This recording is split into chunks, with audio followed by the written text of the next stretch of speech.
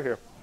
Okay, so we're going to talk about microphones. We've we started talking about microphones a little bit uh, when we were at the uh, at the uh, recording the other day, right? When we were at the, the stage. So uh, in our chain here, Chris, quiet. Uh, in our chain here, uh, we are down here, and we're going to be converting the analog. No, I'm sorry. I'm sorry. Converting the acoustic energy to electric energy.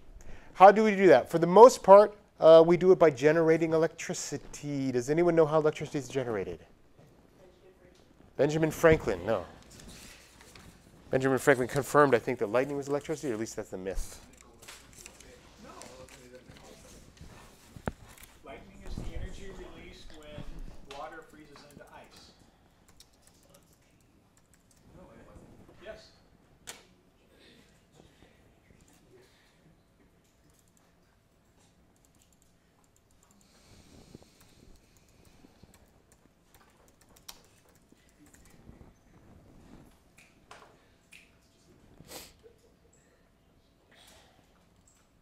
Uh, here's a nice simple.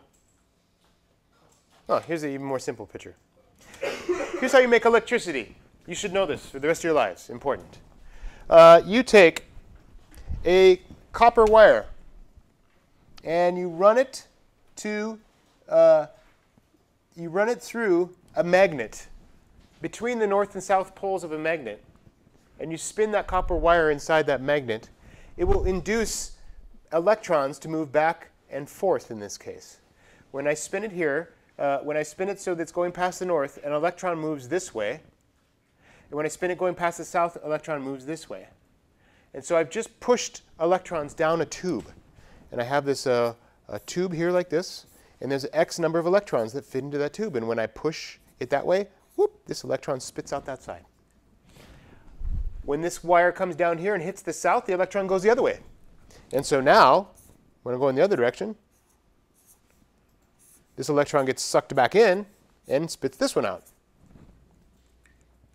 That's electricity. That's all it is. Electrons going back and forth like this. Direct current means it wouldn't go back and forth. It would just go one way and make a loop like this. This is called this is alternating current. The, the, the demonstration they're showing there. It takes energy to do that. The arm cranking this, when it when that copper wire moves past the uh, the magnets there, there's resistance. It has to overcome that. The energy that's put into that resistance is the same amount of energy that the electrons are carrying back and forth.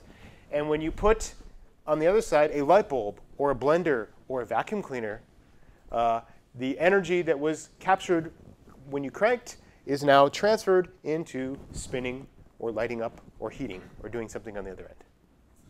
That's how electricity is generated. And there's big ones, big thick wires out there uh, that we see overhead, overhead, and they go to nuclear reactors or to, to uh, hydroelectric dams where they have really huge generators like this, where the magnets are as big as this room and the wires are this thick, and it takes more force than any of us could ever put on to get the thing started. And that's enough to light all of our refrigerators, or light all of our lights and our, get our refrigerators going and all that. Capiche? So, can someone explain to me how electricity is generated?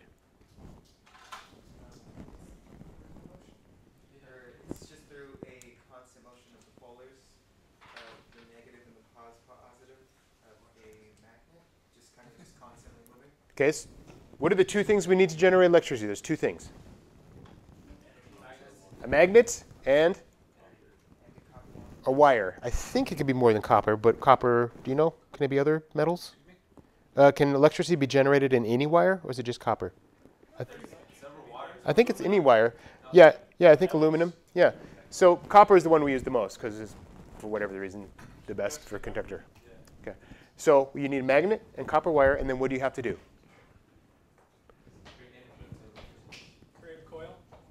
You don't even need to create a coil. A coil helps. What do you need to do? You got magnet, copper wire. They need to move around each other somehow. They either either the, the copper wire can spin around the magnet like this. The magnet can spin around the copper wire like this. Okay. If you take that copper wire, Doug, when you're talking a coil, and you have a whole bunch of coils like this, and you spin that magnet around that, so if my hand's moving around this coil of wires, it induces a lot more electricity a lot more. Okay. So But we could just have that wire like this and spin the magnet around, and that's going to create electricity.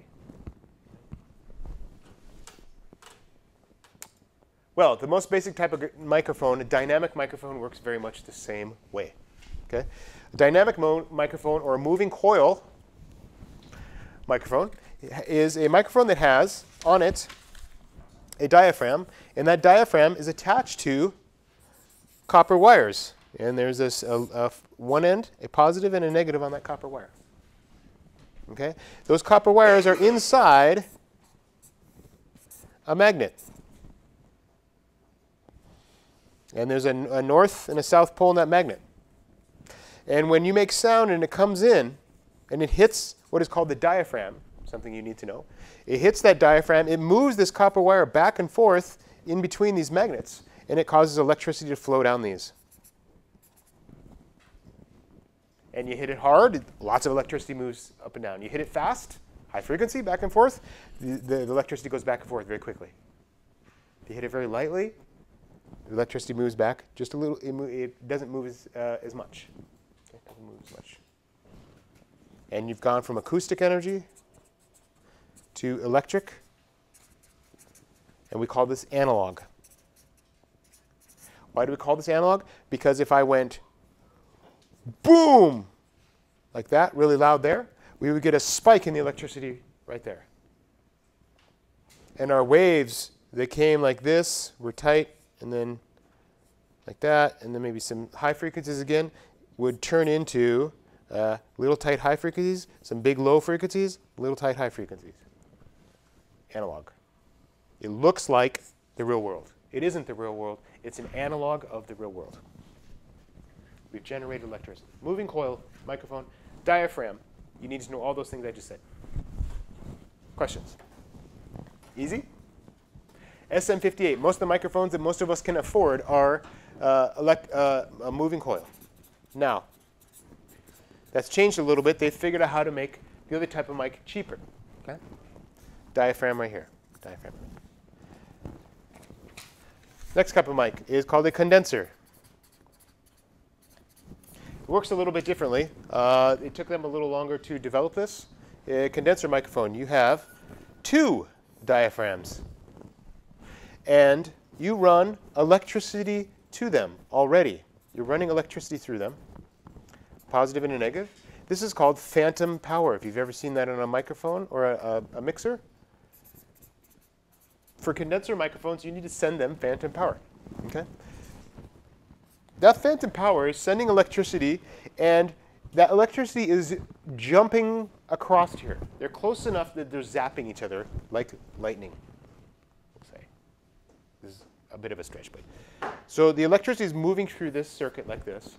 And you make a sound and it comes and it hits this diaphragm and it moves it closer to that diaphragm.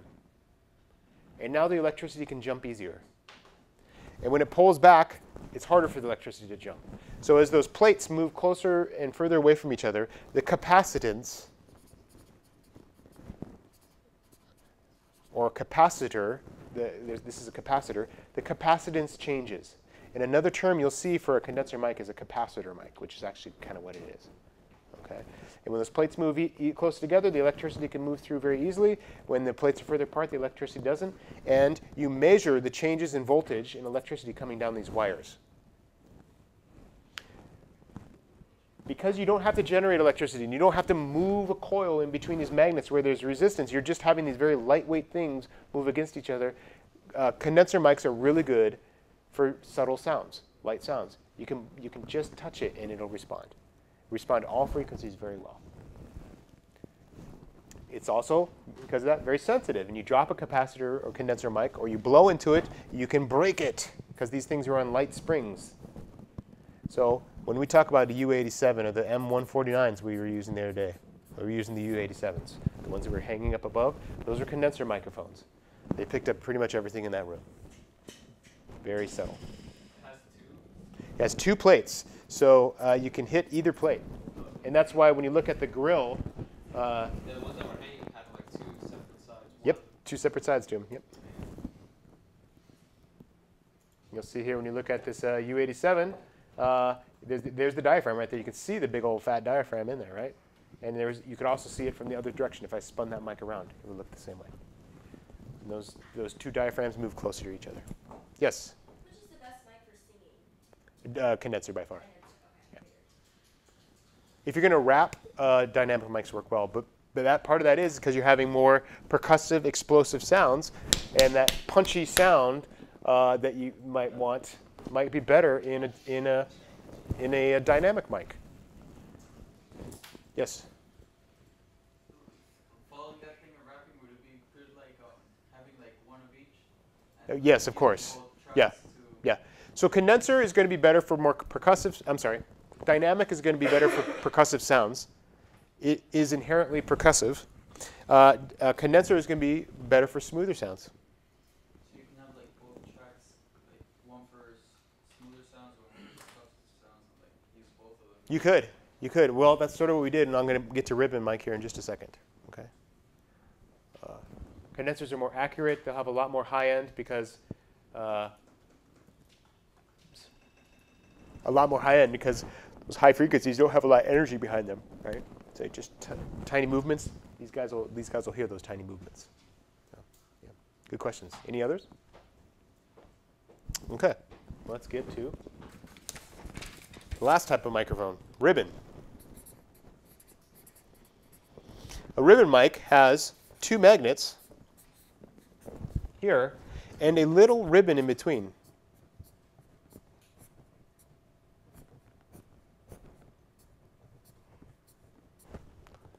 With wires coming off it, a positive and a negative. Okay? And uh, when the sound comes, it hits this ribbon, and it's like a little piece of aluminum foil. It moves in between the North and the South Pole, and it induces electricity. But this ribbon is very light. The trade off is it produces very low levels of signal. But it is much more responsive than a dynamic mic. But it is not quite as accurate and responsive as a condenser mic. I would say it's somewhere in between the two. The term we usually end up with ribbon is smooth. Smooth. When we listen to a condenser mic, we will usually say accurate. When we, listen to a dynamic, mic, we will usually say punchy. Okay? So ribbon mics are used on things that you want to sound smooth, brass being one of the main ones. If you play brass through a condenser mic, often, especially like those trumps, it'll get a little harsh on the top because the high frequencies are too much. Uh, whereas a ribbon will smooth that out a little bit. Things like congas, I would have used them on the timpanis. If I could go back, I would have put the ribbon mics on those timpanis because I think it would have made a nice, cool, smooth kind of sound. Okay. Yeah. So dynamic one mics are the ones who can best take low frequencies, right? They can all no, they can all take low frequencies. Okay. So better than the No, they all can take low frequencies pretty well. They will do it differently. So it depends on your envelope. Depends on your envelope, okay? Uh, uh, this, if I have a, let me try to let me try to route some sounds in here. Uh, if I have a dyna- if I have a, a dynamic mic and a uh, condenser mic here, if I uh, ma- make a sound and it comes in, I've got to move that magnet, right? So when that sound starts in the attack phase, the magnets just sit, the things magnets sitting there like you haven't moved them yet, right? It's got friction. It takes a bit to get that that coil moving in that magnet, and so your dynamic mic will have it, it will make no sound, and then all of a sudden it'll punch up as the mic starts to move. It will uh, the sound will make it sound, and then eventually it will die off. So what happens is the attack and their sustain are cut off. Low level information is cut off. It's not as sensitive to low uh, amplitudes. Low amp, This is the dynamic. no. The dynamic mic. A condenser mic, very sensitive to low amplitude, and so your attack would look more like this. Your envelope would look more like that. Sorry, it would be the same at the top pretty much, and it would the, the sustain would last longer. So you'd hear all that low amplitude sound that the dynamic mic wouldn't have. We know from our synthesis that sometimes we want one and sometimes we want the other, right? Yeah. So dynamic mic, better for percussion sounds. Other things really important for, if you listen to me talk right here and I go, hey, you hear the reverb in the room, right? That reverb is substantially quieter than my voice. If I didn't want to hear the reverb when I was recording someone, I didn't want to hear the sound of the room, what mic would I pick? Would I pick dynamic or condenser? Dynamic. Why? It wouldn't pick up the quieter sounds. Wouldn't pick up the quieter sounds. So they're, they're different in terms of amplitude. They are also different in terms of frequency. Dynamic mics, uh, high frequencies aren't going to cause them to work as well. So their frequency response on a dynamic versus condenser. Dynamic, if we put in white noise to it, would start to roll off at the high frequencies where a condenser would stay more flat. The high frequencies would be just as loud. Are dynamic mics good for interviews? If you are in a room where you don't want anyone else to, you, you got a lot of background noise, say there's cars driving by on the road, there's rustling noise, there's people clicking on their computers or something like that, and you don't want that in the interview, a dynamic mic's great. If you're in a controlled environment, a studio where it's very quiet and you really want to sound like that person is right there and it's like a lifelike situation, condenser is better. And in all these, ribbon is halfway in between, basically. Halfway in between. I'm sort of summing that up a little bit. So if I say I want a high frequency, accurate response of exactly how this room sounds, you're going to say condenser mic. If you're going to say I want to get a nice punchy sound and I don't want to hear that background of the room at all, you're going to say dynamic mic. Yeah. Yeah. So would you just be able to just use all three like at, like at, like at once and then kind of And we did at the so when we were at the uh, at the um, wind ensemble last week, we put a ribbon mic in amongst the, the woodwinds and brass. Why did I want that? Because I wanted a pretty accurate response, but I wanted to do smooth. I didn't want a lot of harsh trumpet sound. Then we put the condenser mics, the U87s, up above, because there I wanted to get the most accurate sound of the overall orchestra. And then I put dynamic mics on the bass drum and the timpanis because I wanted that percussive sound when they hit. So we put all three right there. You, you said you would put ribbons. If I could go back, the timpanis, uh, I've thought of them as drums. Uh, I've, I've known this in the past, but I was thinking of them as drums when really they aren't. They're more like a bass note. When you hit a timpani, the most important part of it is the dom. They have tons of sustain. They got the attack, but their release is not short at all. They, have, they actually have a pitch, very clear. Them like right after hitting it. Yeah, if they wanted that, pi- if they wanted the envelope shorter, they'd have to do that, right? So, That's why they're always adjusting it in the middle of the performance. yep. I think it would have been better to have a little bit more sustain on there and less of this this cutoff here, and the ribbon would have given me a little more sustain. Sacrificing a touch of the, the punch, but that was okay. Okay. Second thing with mics are the patterns. So we have the types of mics and we have the patterns. The pattern is how does the mic pick up sound? And there are three, uh, three, three patterns. They're called polar, polar patterns. You'll hear them. And uh, I showed this to you quickly the other day. If we have a microphone, see Victor. Uh, if we have a microphone that picks up sound from all directions, no matter where the sound is coming from, we call that omni. If we have it where we only want sound from the front, we call it cardioid.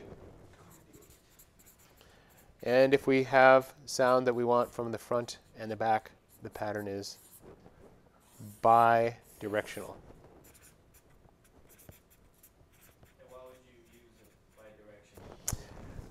Ah, so if I'd had one of those ribbon mics, and ribbon mics are inherently bidirectional, by the way, because if you remember right, it had a piece of aluminum foil on it where sound can hit it from the front or the back, but it hits it on the side. So ribbon mics are bidirectional by default.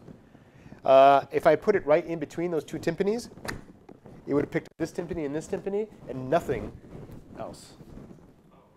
If uh, I was interviewing Andrew here, if I set up a bidirectional in between us, it would pick up him and me, and it would not pick up Doug and David. That make sense? So that's a great use for bidirectional. Uh, or when we want to pick up and make that nice stereophonic sound, so what we did when we had in the, the two ribbons that were in the middle of the performance, we had a figure eight that way, and then I had another one in, in built into it was another figure eight going this way, which allows us to get the left and right, uh, cover the whole area, but pan one left and pan one right. If they were both omni, they would have picked up the exact same thing. They would have picked up the exact same thing. And then left and right wouldn't have sounded any different. And if it's cardioid, we would we would only gotten a quarter of the sound in one direction. Good questions, right? So if I want a microphone and I want to put it by Chris there and I want to hear everyone in this room, what pattern should I pick? And if I want to just hear me and none of you guys, where should I put the mic? What pattern should I put it in? Right, cardioid. That makes sense? And if I uh, want to interview Andrew, I would pick. Okay. And uh, uh, if I was, uh, I wanted to pick up everyone in this room, but I didn't want to hear as much of the room sound as possible. I wanted it only when people talked. I didn't want to hear the reverberation and echoes in the room. What type of mic would I pick, and what pattern would I pick? Dynamic. In which pattern? Omni. That make sense?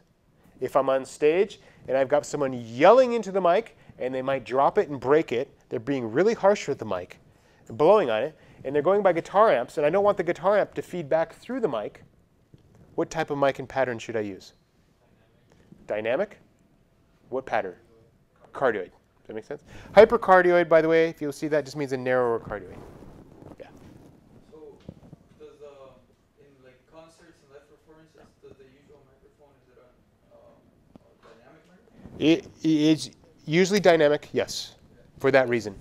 Because dynamic can handle, sorry, one of the things dynamic can handle, as well as being dropped, is yelled at and loud 120, 130 decibel sounds. You take that U87 and you put 130 decibel sound in it, you're going to break the mic. You're going to destroy it. It's too sensitive. Okay. So dynamic mics, man, you can drive a truck over a lot of it. Okay. So loud sounds. They like so- loud sounds. They love generating electricity. It's their favorite thing to do. Hit me harder. Okay. All right, so those are the, called the polar pattern charts. You'll see those. I just wanted to jump back up here. Phantom power is the voltage that you have to send to a condenser mic so that that capacitor can work, so those two plates can, can work with each other. Okay. High pass filter. Uh, because, or because condenser and often ribbon mics are so sensitive, they will pick up the sound coming right up the microphone stand. And if you remember, we had that spider mount, shock mount that we had to put the, the one mics on. Uh,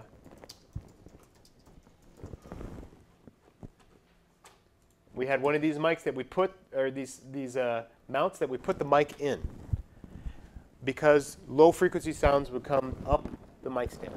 I've been in situations where we've had a mic in a room, even on a shock mount, and someone shut the door to the room, and because it was wired into the speakers in the control room, it almost blew the speakers out. Because there was some like low one or two hertz sound that the mic picked up, went through the amplifier, went to the speakers, and the speaker goes. And we're like, whoa, those are $8,000 speakers. Let me mute that. Or let me get a low pass or low cut filter. And most mics will have that low cut filter built right in. If you're recording someone's voice, turn on the high pass or low cut filter. There's no low frequency information, anything below 100 hertz in our voice going on anyway. Cut it out. Okay. If you're if you're recording some low bass frequencies, then obviously you need that, right? Okay. But for acoustic guitar, voice, a lot of those things you don't. Is there anybody with the deep voice that you would say not to do that? to? Uh, well, we could go down. We, it would just be a matter of hertz, right? So what? I don't know what 100 hertz. Uh, 256 is C, right? You're saying you don't really think there's, there's anybody with a deep enough voice we need to rethink that? I would have to look at the math on it. I don't think so. Yeah. I mean, there's a point, obviously, right? Uh, there might be someone who has a 100 hertz voice out there, but not generally. Yes. Th- This is a little different, but I think it's kind of related. Like, um, you know those, uh, like the sound card, like for example, the Focusrite ones? Yes. And you, put in like a guitar or a bass or even like when it's using a guitar and a bass, Okay. is it like the same type of thing? that- You're getting a little ahead. You're, you're getting into questions about analog and digital audio that we'll get into. But a guitar has not a microphone on it, it has a pickup on it, Yeah. which generates an electric energy between the magnet and the string. It actually magnetizes it, right? And it picks up the difference, kind of like a condenser mic in that case. Uh, it runs out electricity, and it's at a different impedance than a microphone level, and we'll talk about those levels in a couple weeks. But that's why you have to plug it in, usually a different input, or set it to a different setting. Or a lot of them auto sense now and do it. Um, so those polar pattern charts are these things, these drawings that show where the mic is going to pick up from. A couple important things. Uh, proximity effect. when you are in cardioid or bidirectional, when you move within six inches of the mic, there's a buildup of low frequencies, often sub-frequencies that get built up.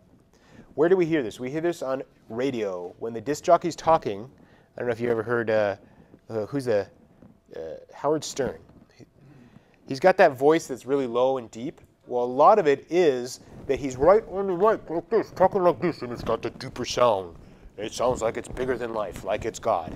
And when you hear, when you go to the uh, movie theaters and like next next month the world will end, where will you be? Whatever in that low deep voice, a lot of that sound uh, is the proximity effect of when you're in cardioid pattern or bidirectional pattern.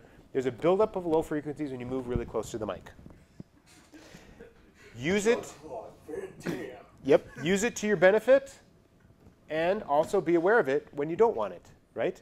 Do you want a ton of low frequency response on someone's voice when they're singing a song over bass and drums? No. Do you want it when they're on the radio and it's just them? Yes.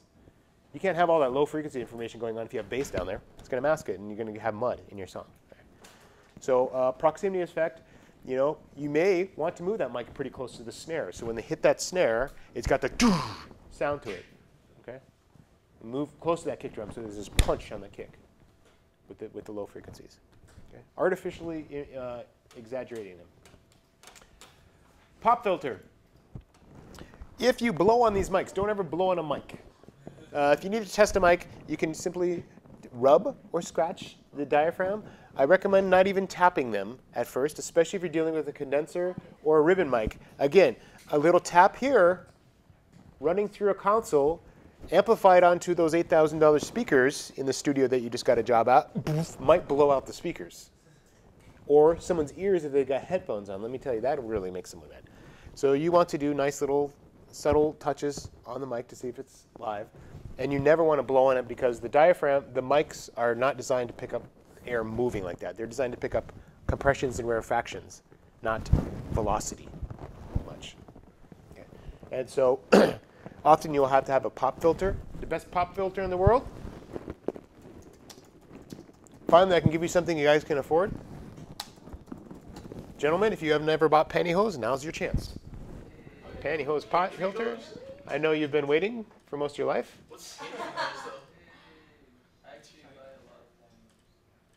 Uh, of course, they're not going to show one. Come on. So these are these are real pop filters. Pantyhose. Oh, did I? Oh, I see. Thank you. you, type pantry hose. Pantyhose. Let's see. There it is. I have one of these at home right here. You take a hanger, and you put a pair of pantyhose on them. Yes. Okay, so what about, okay, I don't know if this is the one that a lot of people have, it's the blue pop filter, blue the brand, yes. Is that pop? They're okay. The best thing is to not have a pop filter. Again, you know, I have this weird audiophile side to me that thinks it hears things. So I, I swear I can imagine when the pop filter's there. I swear I can hear it. Just like I can hear when there's an EQ on a channel. So I actually try to do my, if I'm recording, I try to do it without a pop filter. That means if I'm performing, I have to know how to not say poo or buh or t. Oh, that, yeah, that helps. And I have to learn how to say, they went to the store. And I, I move my mouth when I'm recording so that it's not putting a post-it in there. If you have a good singer that has that kind of control, you can do it. And you will know when you've screwed it up. There's nothing worse than you have a good recording and then someone went poof, and it's a, there's a pop on it. It distorts everything. Yeah, it really stinks. So I would suggest usually putting them. I wouldn't spend much money on a pop filter. If it's 25 bucks, sure, get it. Otherwise, get yourself a pair of pantyhose. It's not the same, yeah. Why would it be more than 25? Because they can? Because you're too embarrassed to buy your own pantyhose? I don't know. Yeah. These are probably a little bit better. It's remarkably similar to pantyhose, and they all smell the same after you've been singing in them for a while. There's a certain, certain odor to a pop filter. If you're inviting someone over to sing your house, please give them a, a fresh pair of pantyhose, not the one you've been singing into. You'll know that smell. The smell of people's spit on pantyhose for long periods of times. Okay. Fun things we're learning here. Okay, when you are recording, there are some very important things to be considered. Uh, the most important is you have that audio window. Remember that audio window?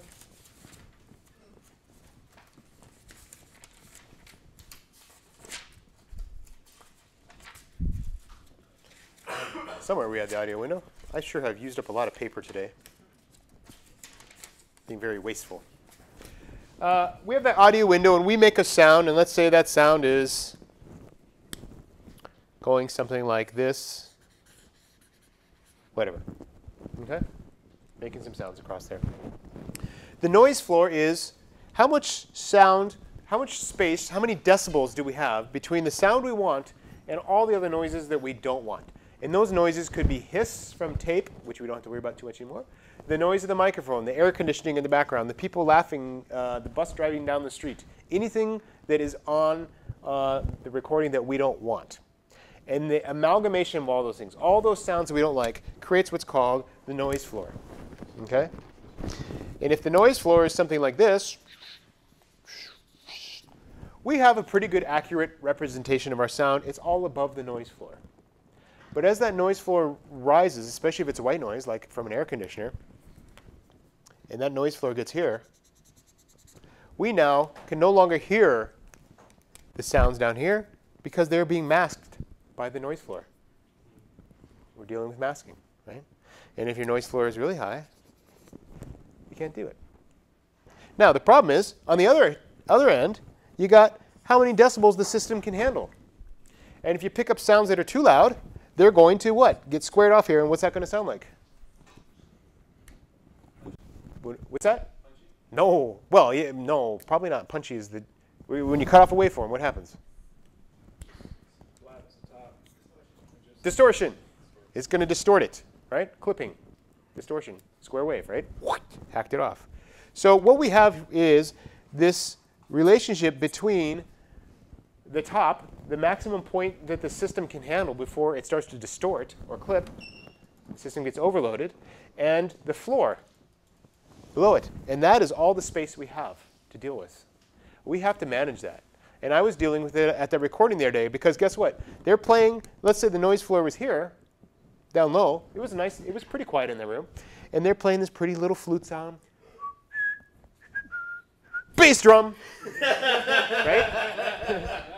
And I'm trying to, I'm having to turn those mics down and down and down, but I'm worried about the, the, the eventually, you're not even going to hear the flute, you're just going to hear the hiss of the air conditioning and all that stuff in the room, right? I was having a lot of problems with the dynamic range in that orchestra because it was so extreme with that bass drum. This is literally what was happening. Okay? How, I had to keep turning them down to not distort, and then I was, the noise floor was coming up relative to the sound I want. And this relationship between the sound you want, that blue and the red, is called the signal to noise ratio. You want the highest signal to noise ratio you can have without distortion. What does that mean? When you record your sounds, when you mix your sounds, you want it to be as loud as possible before it distorts. That's the rule of thumb there. That's why series was such an extent to have it so fine so they don't have to deal with all the Yeah, so you also want to control your environment, right? And there's a couple ways that we've learned to control our environment. One is pick a quiet environment. Two, move the microphone closer to the source. That's the number one thing, right? You put the bass drum in a separate room. Put, what that actually would have been handy. That's and that's what you would do in a studio. You would put up gobos and you would try to isolate the drum set because the drum set is a pain. Right? Okay. So distance is your number one friend. The closer you move the mic to the source and the further away it is from anything else, it's going to only pick up that source. Every time you double the distance, it's going to be quarter as loud, right? So if I'm four feet from this wall and only two feet from my mouth, that wall, what's coming from that wall is a fourth as loud. So distance is your number one friend. Controlling the environment. Uh, then you have your mic selection, right? You have your mic pattern and you have the type of mic. And those are your four main controls you have over your signal to noise ratio when you're making a recording. All good? Questions? I told you I'd be done in half hour ish.